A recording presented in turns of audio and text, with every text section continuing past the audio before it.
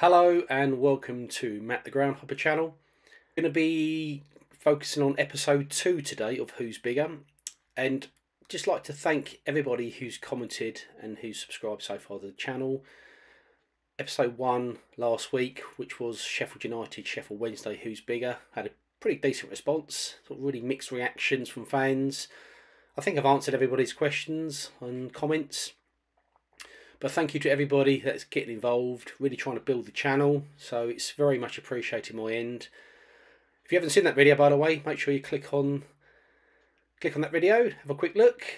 But today is episode two, and we are going to be focusing on two new clubs north of the border, and it is going to be Dundee versus Dundee United. Who is bigger? Let's take a look.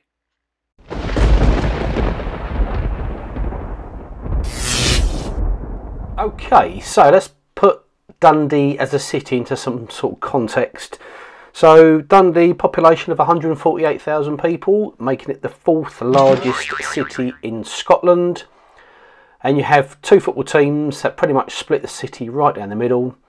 And I think what's unique about these these two clubs is both the grounds. They both own their own ground, Tannadice and Dens Park, located on the same road, which I think is unique in the world for two clubs to have their own grounds on the same road. And to get it, the facts completely correct, they are 183 metres apart. So that's unique in itself. And if you look on Google Street View, you can quite clearly see the grounds pretty much within spitting distance of each other. So just a quick question. You know, I'm always fascinated how it works with fans where you've got two teams in the same city. So how does it work with Dundee and Dundee United fans? I think it's well documented in other parts of Scotland why fans support their teams in Glasgow and in Edinburgh. But how does it work in Dundee? Because it can't be geographical because you're both on the same road. So is there any sort of method to this madness, or is it just does it just go back several generations? Let me know. Drop a comment. I'm I'm always fascinated to hear from the actual fans itself, and just educate me really, because I'm sure there's a lot of people that be sort of interested to know why you are a United fan or you're a Dundee fan. So, I mean, I have read in the past that both clubs have looked into basically sharing a ground, building somewhere within the town, closing both Tannadice and Dens Park, you know, developing them for housing, etc., etc. But, I mean, the fans, from what I've read, were heavily opposed. Both sets of fans were heavily opposed to sharing the ground.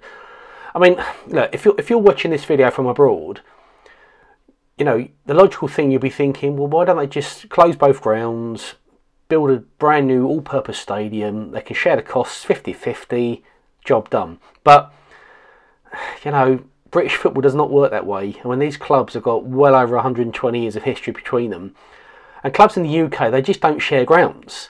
Unless it's forced upon them where they had to close their own ground and they've become a tenant somewhere in another ground against their will almost. But clubs willingly do not share football grounds in the UK if I'm wrong, let me know. If you're a Dundee or Dundee United fan, please let me know. Comment. Tell me, what do you think? So, just before we go on to the rounds, I just want to share a quick fact with you. It's about Dundee. So, Dundee, along with Motherwell, share the biggest attendance at a game that does not involve Rangers and Celtic and that was the 1952 FA Cup final, and there were 136,495 fans there. So, just put that into some context, just under 137,000 people at Hampden to watch a cup final. I mean, they must have been packed in like sardines. It must been quite incredible. Like, but what an atmosphere, like you know. So yeah, so that's um, I wasn't expecting that. That's that's a decent little fact there. Um, so moving on to the rounds, rounds 1 to 8. Got a new round today. Thank you to Andy who commented on the Sheffield video. And he pretty much said to me, look, why don't you include social media following because that determines the size of a club as well. So I've done it. So it's a new round 7. Social media following, which, will, which is the combination of Twitter, Instagram, Facebook, which gives you a number. The other round, the other seven rounds are the same. So let's go to round one and let's make a start. You.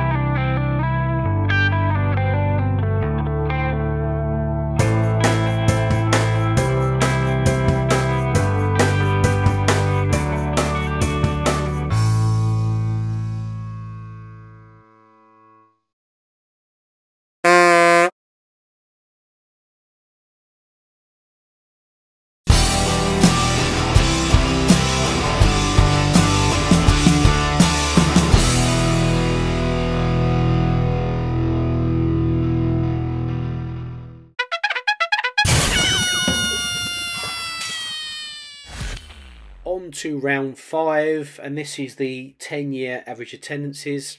I had a couple of questions and comments from people asking why I don't do it up to the current season. Um, I've, I've stopped it just before COVID, so it gives you a block of 10 seasons in a row.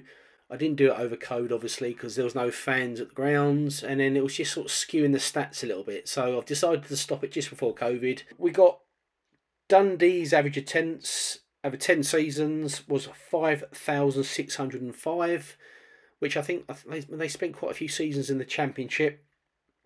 And um, Dundee United average attendance over 10 years was 7,144. But again, most of their seasons were in the Premier League. I think they had four years in the Championship. So I mean, I'm, I'm quite surprised by that. I thought there'd be more level pegging, but if they was both in the Premier League for the same amount of time, I think it would be closer than that.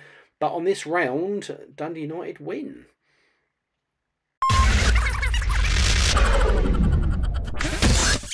Round six.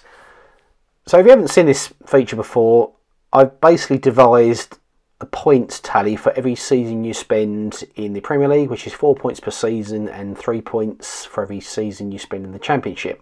And the reason I've done that is so I can create a points tally for both sides. It means I can compare and contrast and award a point for this round. So, um, so starting with Dundee, in the last 20 years, they have spent nine seasons in the Premier League and 11 seasons in the Championship. So they've been a bit of a yo-yo club up and up and down. They don't tend to spend much time in the Premier League, but yeah. So 9 in the Premier, 11 in the Championship. That's giving them 69 points. Uh, with Dundee United have been a bit more consistent. They in the last 20 years they've been in the Premier League for 16 seasons and they had that time of 4 years with a block of 4 seasons in the Championship where they had 4 seasons and that's given them on the points basis 76 points. And then they will win this round 76 points to 69, which means they win round 6. New round, round seven, social media following. So I've broken this up into three. That's sort of the main three. Know there's other there's other platforms, but it'll just get silly otherwise. So I've broken up into Twitter, Facebook, and Instagram. Start with Dundee. Dundee got 54,000 Twitter followers. So, yeah, decent number. 19,000 on Facebook and 22,000 on Instagram. That gives them a combined total of about 95,000 followers. Obviously, some of them could be the same followers. I get that. They follow on Twitter and Instagram, but you get the gist.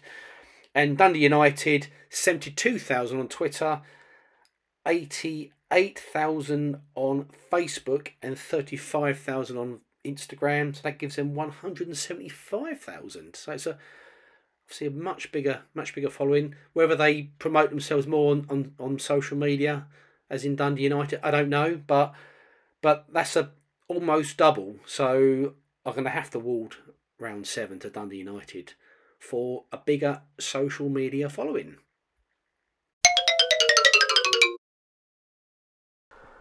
On to the eighth and the final round, on to the honours. Before I state the official honours, got a couple of other bits and pieces that both clubs have won, or the achievements. So Dundee United have won two Challenge Cups, and Dundee have won one Challenge Cup. I mean, I haven't included this because I don't even think this club's taken that seriously, that trophy, but but they've won it, but it's not in the points tally.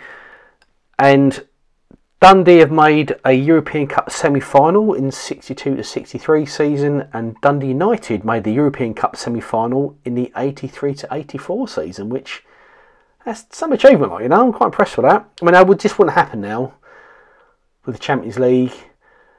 Just to put it on record, I absolutely hate the Champions League. By the way, I just can't stand. I, I preferred it when, when it was the European Cup. I'm of an age I can just about remember the European Cup, knockout football from round one before all this group games and they're going to expand it even bigger and I just I just can't stand the Champions League I hate it but um but back in the day you had results where Dundee United could get to the semi-final of a European competition a big one at that so yeah so that's quite impressive but, um so moving on to the the main honours so I award points sort of five points for a Premier League win, four points for Championship, three points for FA Cup, three points for League Cup, and I've also got a European um, sort of points allocation system as well now.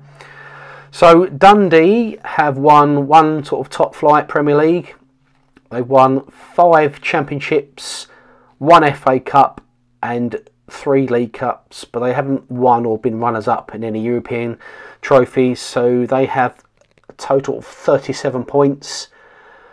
Moving on to Dundee United, they've also won uh, one championship. That was in 1983. By the way, if, if you haven't seen that, and this isn't a dig at Dundee fans, but type in on Google Dundee versus Dundee United 1983, and Dundee United actually won their one and only one and only league title in 1983, and they won it at Dundee.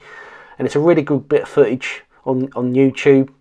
Proper old school football, I think it was 29,000 at Dens Park that day. Absolutely rammed to the rafters, terracing behind both goals, really muddy pitch. Just brilliant, brilliant retro football. If you haven't seen it, I really recommend watching it. It's only a couple minutes long, but yeah. So anyway, moving on. So Dundee United have won one uh, Premier League. They won three championships, two FA Cups, two League Cups, and they was runners-up in the UEFA Cup in the 86 to 87 season. So on my little points tally, they've managed to achieve 30 points as opposed to Dundee's 37. So on this round, Dundee have won. However, controversial because a lot of the um, points that Dundee have accumulated were championship wins, and you know the argument could be Dundee United were in the top flight then. But anyway, but Dundee United, uh, Dundee, sorry, win this um, round eight, 37 points to 30. So at the end of round eight, there you have it. It is Dundee United 6, Dundee 2. And uh, if I'm being honest, I thought Dundee United might win, but I'm quite surprised by that scoreline. Uh, let me know if you think. If you, dis- if you disagree, leave a comment, let me know. But I'm being completely unbiased, as I always say. I'm just looking at facts, looking at stats, and Dundee United to come out on top. Um, next, my next um, Who's Bigger video will be Cardiff versus Swansea. Thank you for watching. Please subscribe, please like, and please comment. And if you haven't seen my ground hopping videos, basically what I'm doing, I'm ground hopping all around the UK. Uh, going to be heading to Scotland uh, at the weekend, looking to do hopefully a triple header up there. So look out for my Scottish videos coming up next week. But thanks for watching, and I'll see you in my next video. Many thanks.